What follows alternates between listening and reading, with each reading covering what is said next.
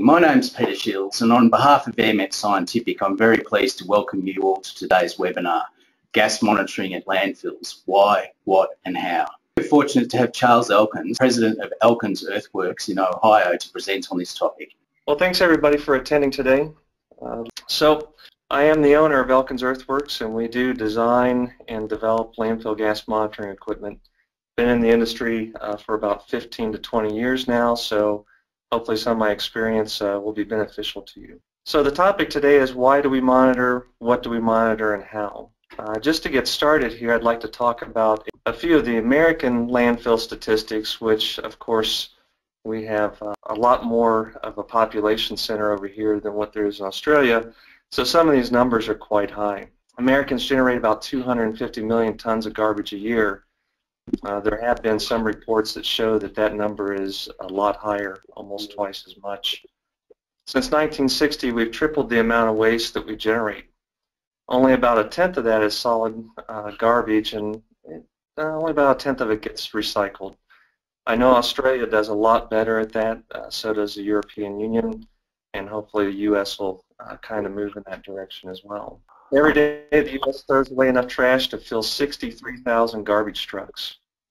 Of course, in the United States, that equates to a large number of landfills. We're almost at 3,100 landfills right now that are active and open. About 10,000 are old municipal waste landfills that are closed, uh, and that's according to the U.S. EPA. I know in Australia the numbers are a little bit more difficult to uh, gather. Uh, with talking to the Victoria EPA, uh, Nick Simmons. Sounds like they're still trying to count all the open and closed landfills that you're dealing with. So let's talk about the process over, overview. What is a landfill? Some of you probably are well versed in what landfills are, but for those of you who aren't, I'll spend about five minutes just talking about how landfill is constructed so we know what we're doing with the landfill gas monitoring. So there's three basic types of landfills. You have your hazardous, sanitary, and open dumps as you can see there in the picture with the BOMAG compaction in a current active facility with the liner going down the back. The anatomy of landfill is quite different these days than what they were probably about 30 years ago. Today we have a compacted subliner, uh, subliner like a clay, plastic, aggregate on top of that for leachate drainage. Some landfills have textile mats, granular drainage, soil layers, but even more important what we see here is that the way that the waste is placed within the landfill. As you can see up here on top by my pointer, there's a uh, compactor packing waste into the landfill. And as you can see, there's dirt in certain layers, and basically it's placed when the landfill closes at the end of the day for alternative daily cover or cover to keep birds, varmints, odors down, and whatnot. But as you can see, these are kind of uh, put in in uh, dry tombs is what they used to call them uh, a few years ago. It's important for these landfills to strip this daily cover so they can key the new trash into the old trash so that when it comes time to extract the gases or to let the, the methane uh, come up or let the leachate go down uh, within the landfill that we're not having to, to go through different soil layers. Just uh, for reference here, here is a, uh, a liner system, brand new going into a landfill, where on the left you have a, old cell with a fluff layer with some soil cover on top of it. So just kind of a nice picture for you guys to see. I think this was here in uh, Ohio about two or three years ago. The older landfills, of course, here in the States, they started closing the landfills that are not constructed like the one that you just saw probably back in the early 90s, late 80s. Most of those don't really have a compacted clay soil liner. Uh, they definitely don't have the plastic protective liners. Most do not have leachate collection systems. If they do, they were put in afterwards with just drilling down through the waste and putting pumps in. And then most of them also do not have gas collection systems. I know in Australia right now they're still trying to get a handle on all the closed landfills, trying to find out where they're at and try and do some of the corrective actions that we'll talk about later on. Why the change in landfill design? Well, over the past 30 years, the world's become more concerned about what happens to the waste that's buried in the landfills. Accidents such as exploding homes or landfills near landfills have drawn attention to landfills. We have one specific facility here not too far from me where two or three homes exploded due to landfill gas migration uh, through the soils. Also, there's cases of contaminated groundwater near landfills from leachate seeping from the bottom of the old cells. So in conclusion, it's the byproducts of the waste that's driven the industry to a better design and a better practice of landfilling. What are the byproducts of landfilling? Well, there's two basic byproducts. Of course, we have the gases, which uh, everybody always talks about methane, but there are other gases involved as well. And then down here on the bottom left in the picture, you can see this big uh, black pond of liquid. Uh, at this facility, that's a leachate aeration pond. So all this leachate that comes out of the landfill here is basically water that has either been placed with the waste or rainwater or drainage that's gone through the waste. So those are basic two products of a landfill. So why do we monitor landfills? Getting into the, the why question here. Well, let's focus on the landfill gas. That's what we're here to talk about today. Leachate uh, can be covered at some other point. So how does landfill gas move?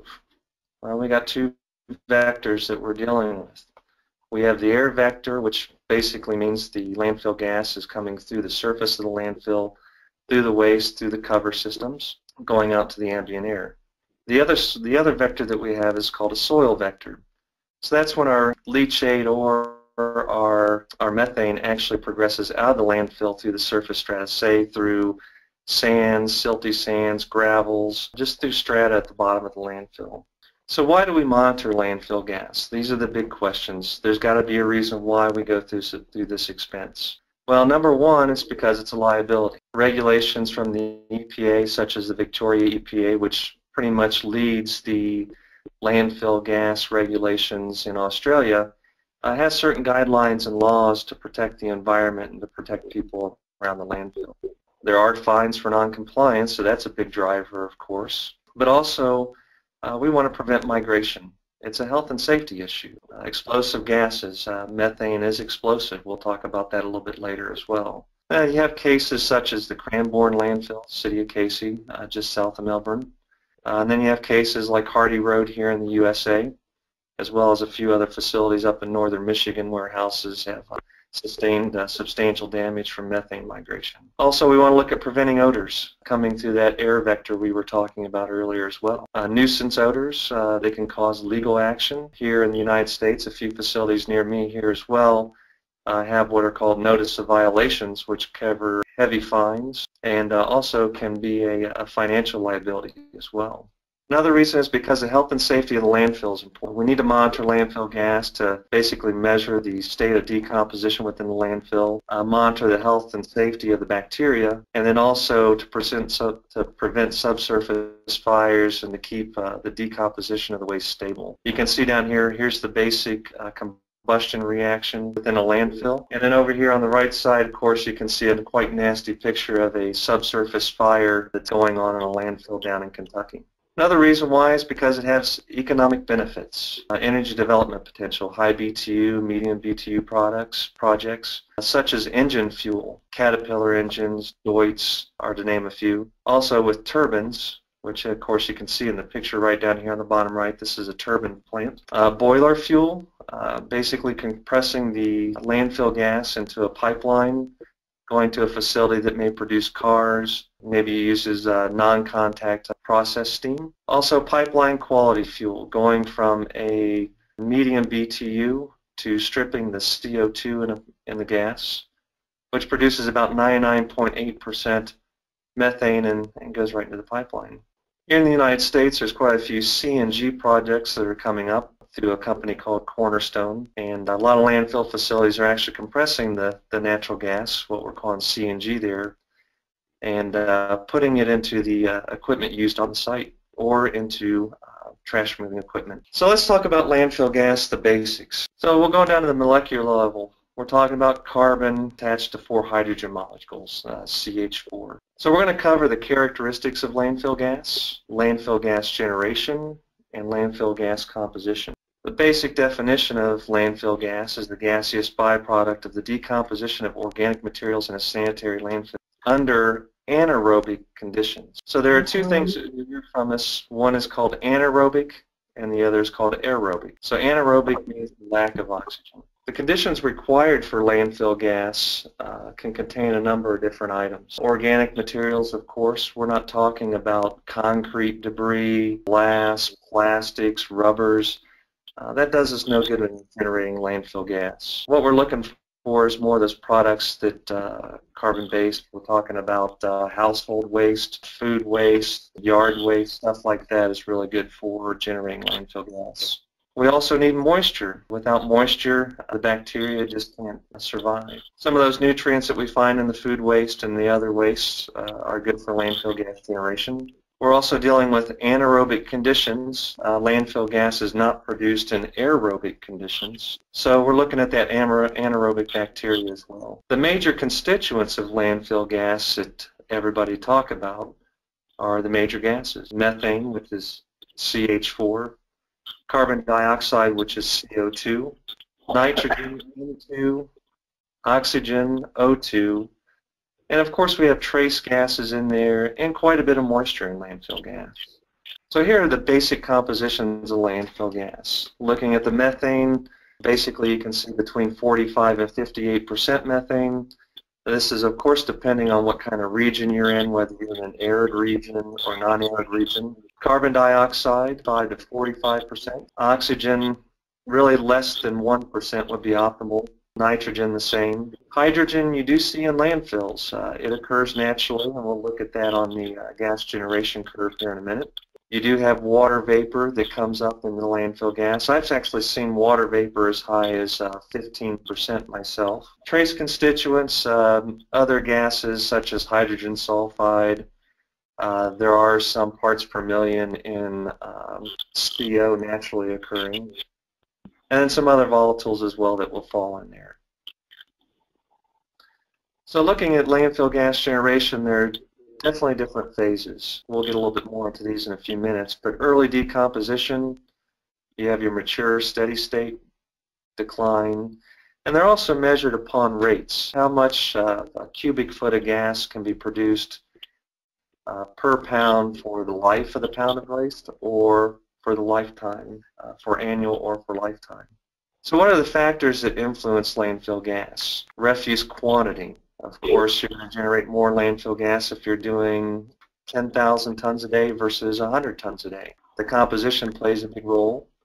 Uh, are you taking in concrete, construction, demolition debris, or are you taking in a lot of municipal solid waste? That definitely plays a part.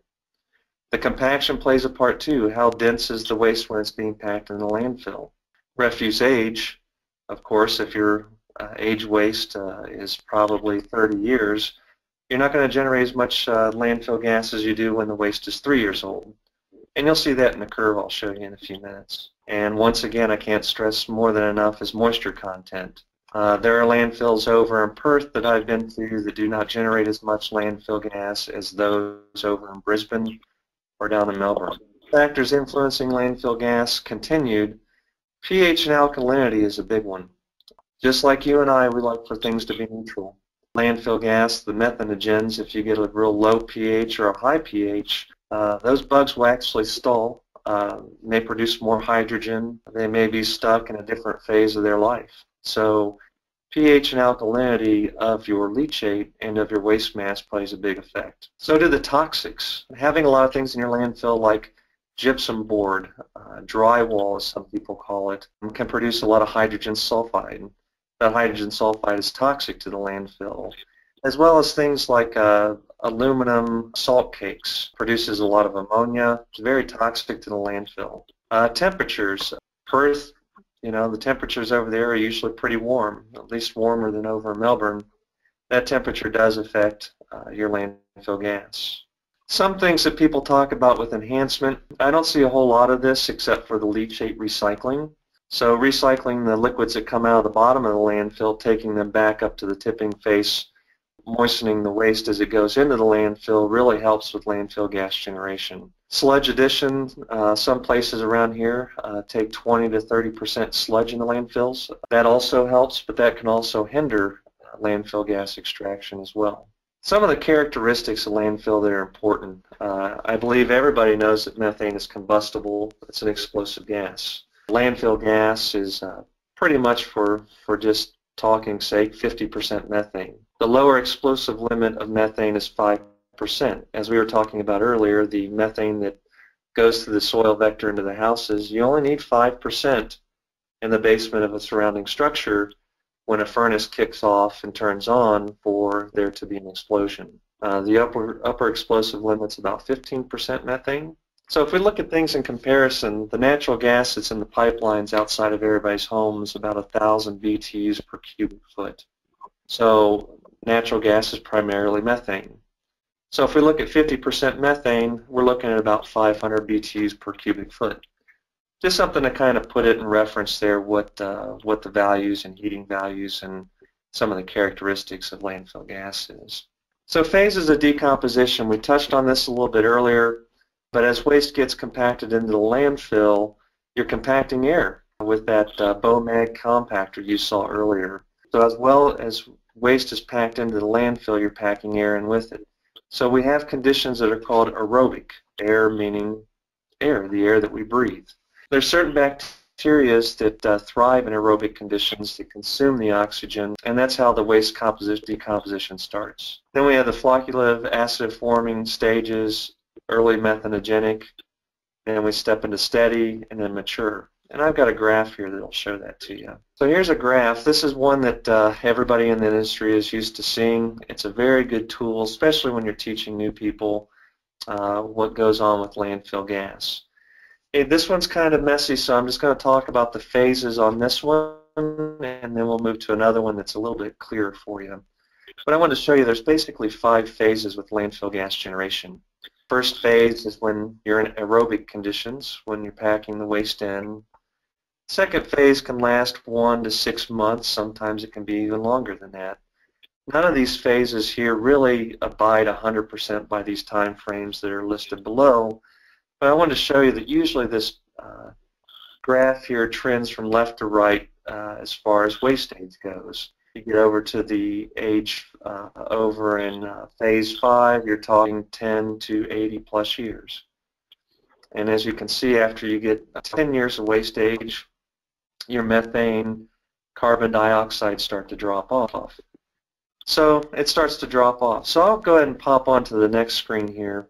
This one's a little bit clearer for you. So it takes off all the other lines. But what I want to show you here is in the aerobic phase, once again, the air that we breathe is about 80% nitrogen. So here's our nitrogen line, this dotted line here. Here's our oxygen line. So you can see the, the aerobic bacteria consumes the oxygen, and by the way, nothing consumes nitrogen. Nitrogen is an inert gas. There are no bacteria that really consume the nitrogen. So then as you see, what happens is our hydrogen starts to pick up. So hydrogen can get up to 20%. And I've actually seen it in landfills right now that I'm working on that have 20 to maybe even 30% hydrogen. Carbon dioxide starts to pick up. And I've actually seen this phase on a landfill gas analyzer with a new well in waste that's only uh, about six months, seven months old. What you'll see is the carbon dioxide starts to drop, the methane picks up. This is when the anaerobic bacteria starts working on the waste mass. And there's a critical point here that I want to show you where this dashed line here crosses this solid line here. This is where your methane percent finally climbs higher than your carbon dioxide percent. This is a very critical point this is stable here. This is what you want to see. Something to note, and we'll also point it out later on in this talk, is that not only can we go to the right in direction and time, but if, if you stress the landfill and have certain conditions or maybe your waste mass has changed, it will actually go backwards. And this is a very critical point right here that we'll talk about in just a few minutes. So gas generation over time. You can see what we talked about earlier is all these phases but basically, gas generation starts when the first pound of waste is put into the landfill, continues to climb until the date that the landfill closes. And you can see how that, that uh, you know, 10 to 80 years of landfill gas production just kind of tails out over a long period of time. These curves are really used when people are trying to determine whether to put in a landfill gas to energy project, what kind of capital put, to put out at what times, and also it's used as a tool to, to kind of look at, well, am I extracting as much as what the gas curve said I should extract. So it's a tool for a number of different reasons. So now that we know a little bit more about landfill gas and how it's produced, let's talk about how we measure it. So what gases do we want to measure? Well, from the previous slide you can see that there's really four basic gases that we want to measure. Everything else is, uh, you know, not so prevalent in our gas stream. So we're looking at methane, CH4, carbon dioxide, oxygen. Now balanced gases, it's listed as a balanced gas because with the field instrumentation that we use, uh, whether it be an Envision, a, a GEM meter, a gas data machine, what you're going to see is you're going to see that it's listed as balanced gas. Balanced gas basically is nitrogen for the most part with all the other trace gases that you see. So what we do is we take 100%, we minus the methane percent, minus carbon dioxide, minus oxygen, and we get our balance gas. So what are the ways that we analyze landfill gas? Well, there's a number of different ways. Uh, gas chromatograph, those used to really be used years ago. They're accurate. It's a laboratory grade instrument. They're very finicky. Uh, the user has to be well trained on the machine. It's not really built for outside use. Plus, it costs about $30,000 USD. So it's not really something you want to lug around. Uh, plus, they're quite bulky. Uh, they're heavy. You need to put it on a piece of equipment or in a truck to carry it around. So the conclusion is it's an option, but it's not really a good one, especially if you're out there monitoring 10, 20, 100, 200 wells. Uh, it's not something that's really adapted for the well field. Some people ask about flame ionization detectors. Well, FIDs, uh, they're in the parts per million range, 0 to 50,000 parts per million to be specific, which is about 0 to 5% methane. It's really meant for reading volatiles in ambient air, doing a surface sweep of the landfill to see if you have any emissions coming out of the surface. So really it's good for sniffing leaks on pipes, uh, looking for uh, landfill gas coming out of the surface of the landfill, but it's not really a good instrument to tote around and to take gas readings with. The next type of instrument we have is an NDIR, which is non-dispersive infrared. The accuracy of those units are 2 to 3%. They're really easy to calibrate. They're pretty robust these days. So they're inexpensive as well compared to other methods, the FIDs, the gas chromatographs. Plus the way that NDIR cells are built these, these days, you can easily assemble them into a package with other types of sensors and put it in a really nice sized field unit. So the other thing we want to talk about is the galvanic cells for O2 measurement. Gas chromatograph will do oxygen, but really to do an O2 measurement in the field, uh, we're looking at a galvanic cell. Uh, galvanic cells are accurate, they're easy to calibrate, once again they're robust, and they're pretty inexpensive. One of the only downfalls to a galvanic O2 cell is that they are consumable. It does have an electrolyte in it uh, with lead sometimes, and they do consume, so they are something that you'll have to replace uh, pretty much every year. So our preferred method, NDIR, with a galvanic cell. Once again, the non-dispersive infrared will do methane and CO2, and that's an infrared lamp source with a sample chamber and a wavelength optical chambers. Just to look at things here, I won't read through all this text, I won't bore you with that. But what we're looking at here is we're actually looking at, at an example of a NDIR sensor. You have an IR lamp on one end, one end with gas coming through. Basically, the light goes through and is absorbed by certain molecules, whatever you are uh, looking to measure. And you have a reference and a detector signal or a filter on the other end.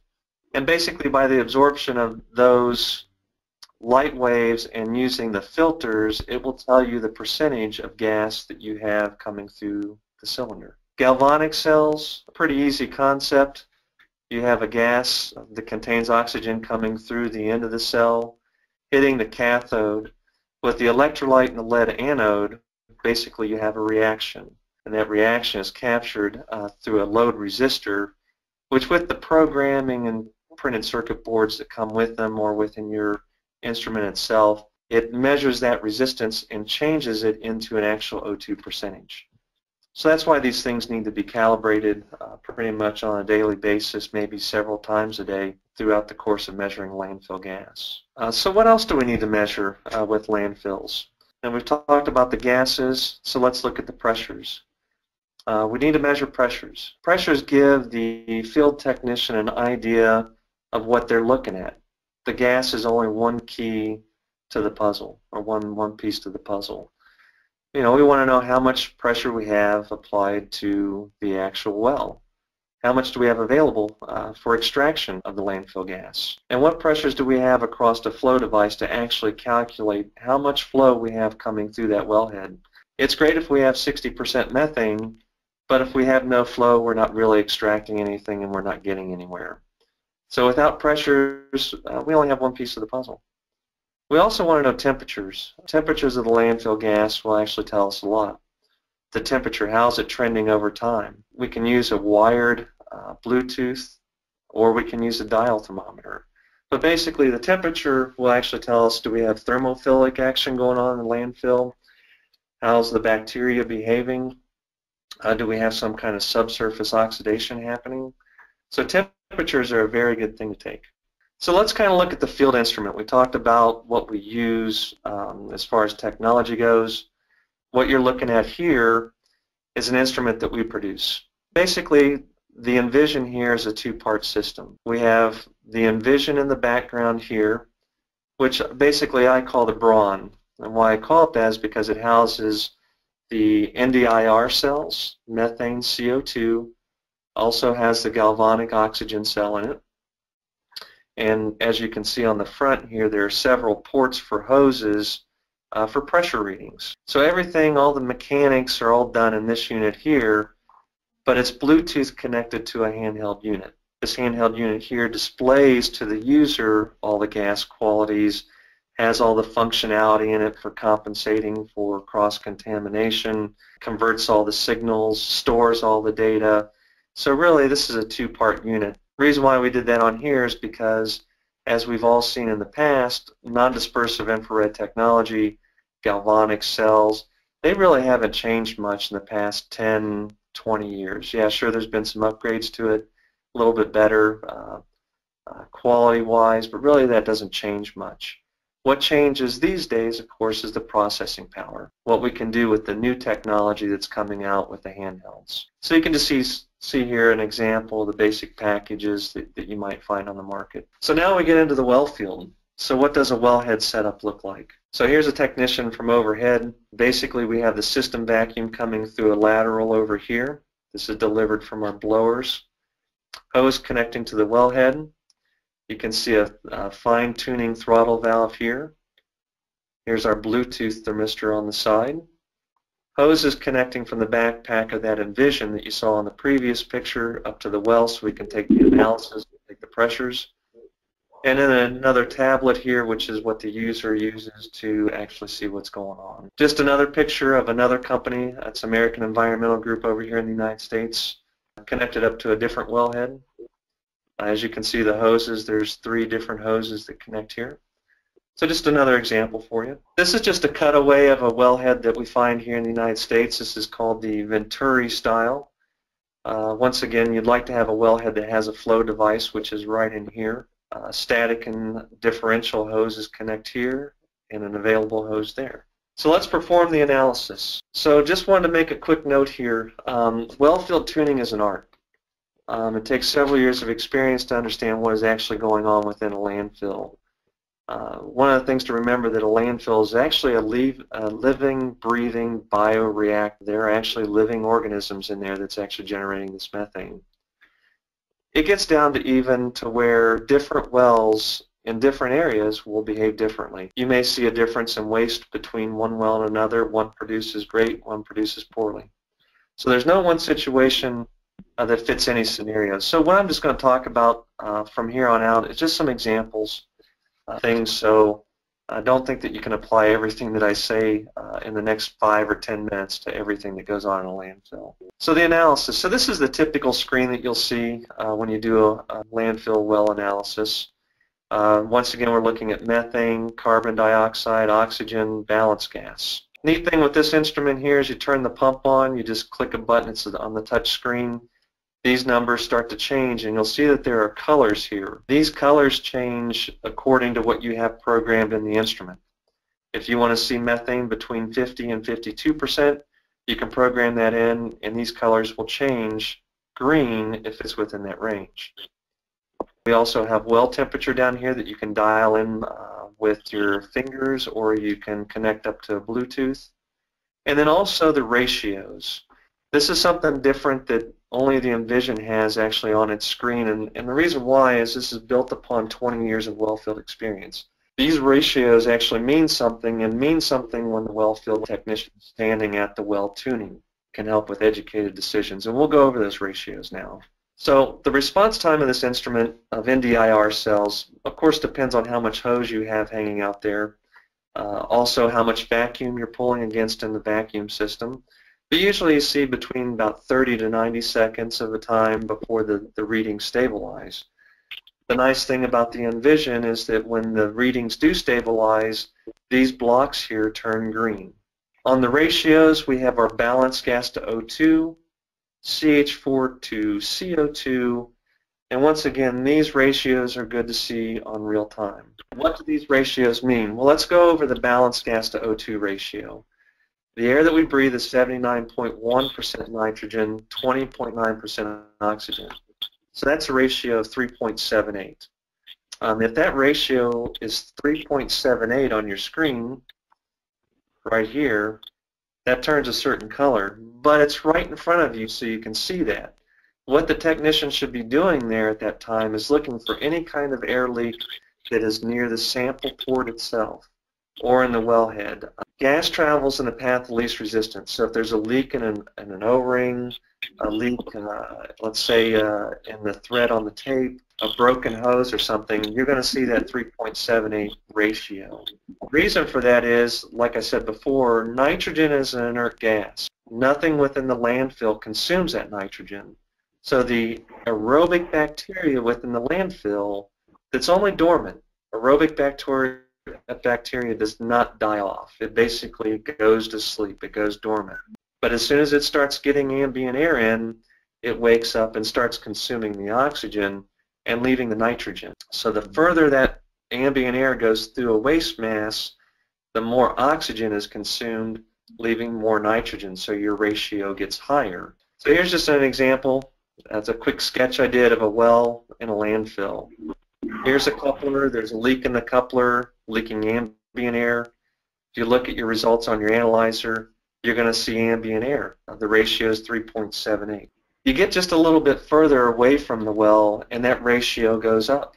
If it's between 3.78 and the teens, you should be looking for not only you know O-rings and hose issues and filters and sample ports, stuff like that, but start looking on the ground. Do you have cracks on the ground? Is your well bore seal dried up?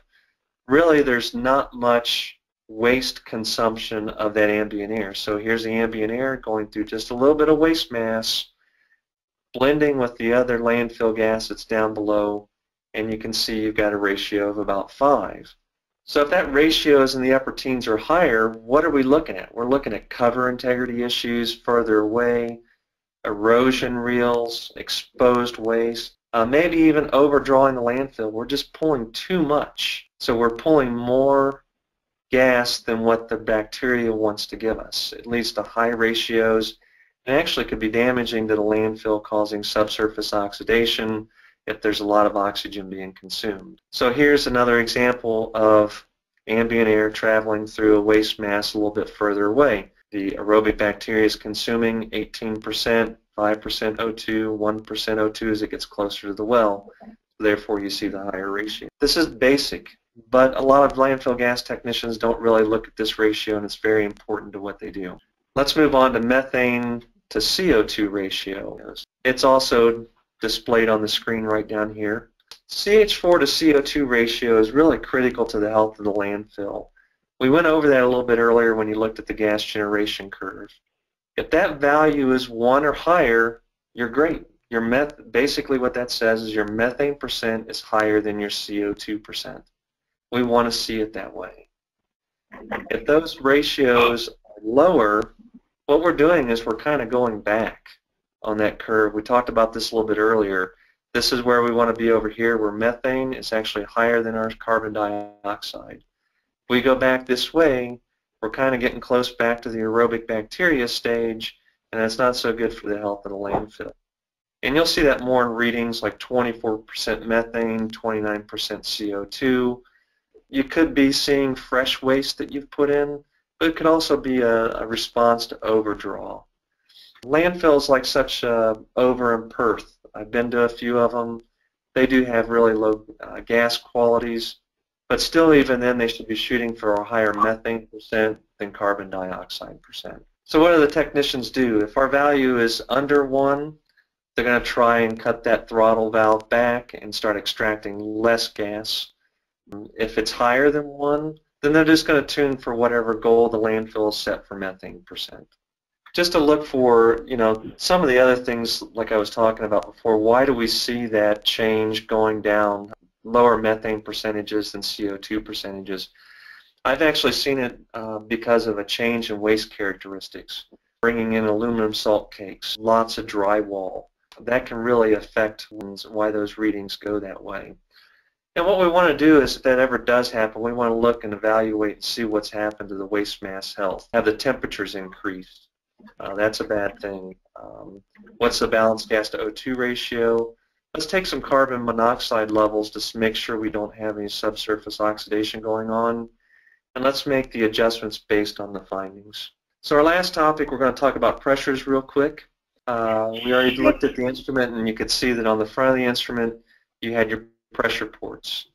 We're looking at what pressure we have applied to the well. Sometimes that's called static pressure. We're looking at differential pressures. What's the difference in pressure across our flow device that will help give us the flow itself. The Envision has three ports. It has an applied pressure, differential pressure, and also an available pressure so we can see what vacuum in the header we have to use adjustments. So once again, here's the front of the Envision. You can see basically how this is hooked up to a landfill gas well, impact, static, and available.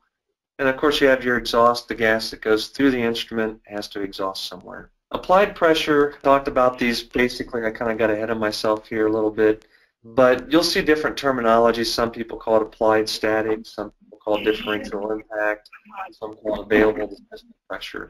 But really, we need to see all these pressures to understand what adjustments the technician is going to make in the well field.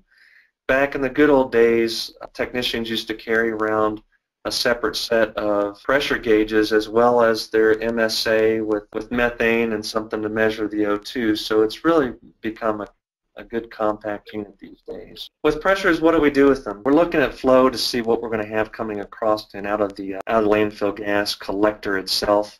Uh, that's going to tell us what our methane qualities actually mean, whether we're flowing or just setting stagnant. What effort we need to collect from that gas collector. And also, what else do we have going on in the main header system? Looking at that available vacuum can tell us whether we have a main pressure drop, uh, in our header system that we need to look at? Do we have any kind of condensate collection system that's not pumping any longer? Do we have bellies forming in the pipe? And that's seen by a pressure surge going back and forth from a negative to a positive, going back and forth like this. So all the pressures actually mean something. We're not just taking them to just record another point. And so you can see that here on the screen, static, differential, calculated flow and then a system pressure. And these on the Envision, you can lock these, you can unlock them, but they keep moving back and forth, so you can kind of see that uh, that surging if you need to see it. Once the technician gets done with these readings, they just hit a button and it stores it into a .csv file that you can put into any database the Landtec units or geotech units that you have, they do the same thing, uh, pretty much in a .csv file. Uh, something unique to our instrument, and this was basically built this way for Australia, along with talking to uh, Cranbourne, talking to the Victoria EPA, is a borehole pressure. There are other instruments out there that do this, but in our instrument, you can actually use it as a landfill analyzer looking at the gas extraction system and also use the same instrument to do your borehole probes took a lot of mechanical engineering for the internals to be able to do two instruments worth of work in one instrument. And it also has the logging features and barometric pressures. So you can see that screen down here. And like I said, uh, we have some clients there in, in, the Melbourne area that really helped us kind of tweak this uh, feature of, of our instrument. So one of my last slides here just talk about meter advancements. Over the past 10 years we've seen GPS come into play, barcoding. GPS is a good one not only for finding your well location, marking your well locations, but also for data validation and, and actually knowing that your technician went to the correct point and you can actually validate his data that he was at where he was supposed to be. Within our instruments we have Wi-Fi cellular connectivity, processor speeds, tablet technology, that's all increasing every year. Uh, so why not take advantage of it? Programming, uh, instruments, instruments now can do so much more than what they did five years ago. And also the accuracy is a lot better. Uh, finding better ways to uh, take out the effects of cross-contamination, what pressures and what temperature does to your NDIR cells or oxygen cells. Uh, with programming these days, it can get pretty accurate. So there's just so many topics to cover in such little time. Usually what we do is uh, we teach a technician how to use an instrument. We can teach somebody how, to use an instrument and get really comfortable with it in a matter of hours. Uh, but typically um, we like for technicians to be in the well field for a few months, then come in and actually do training like this. Basically I've tried to cram about three to four days worth of training into a 45 minute session which is really hard to do. So there's so many other topics out there, subsurface fires, what to look at in, in vacuums and readings, the troubleshooting. There's so much out there, but can't cover it all in 45 minutes. So I'd like to say thanks to Air-Met. Thanks for inviting us. Thanks for making me put together this nice PowerPoint that hopefully can live forever on YouTube. I'd like to thank the Victoria EPA, Nick Simmons. You gave us a lot of input on tweaking some things for Victoria and borehole flows and also like to thank Run, Run Energy for helping us get into Australia. Um, they use our instrumentation. Also to the City of Casey, uh, Paul, uh, he selected our analyzer to use down at the City of Casey Cranbourne landfill. There's some links here that you'll see. So thanks for your time. Thanks very much, Charles.